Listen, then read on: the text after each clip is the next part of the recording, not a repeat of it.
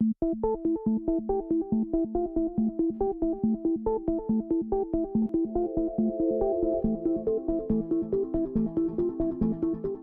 conceito dos estúdios eu acho que está bastante relacionado a esse novo, essa nova onda do morar que passa por Londres, passa por Nova York, passa por Milão. Como a WQ eles fazem os seus empreendimentos de estúdio, reforça ainda mais essa vontade de querer morar nos centros urbanos. Espaços compartilhados como lavanderias coletivas, espaços gourmet, fitness, eles potencializam a procura por essa vida urbana.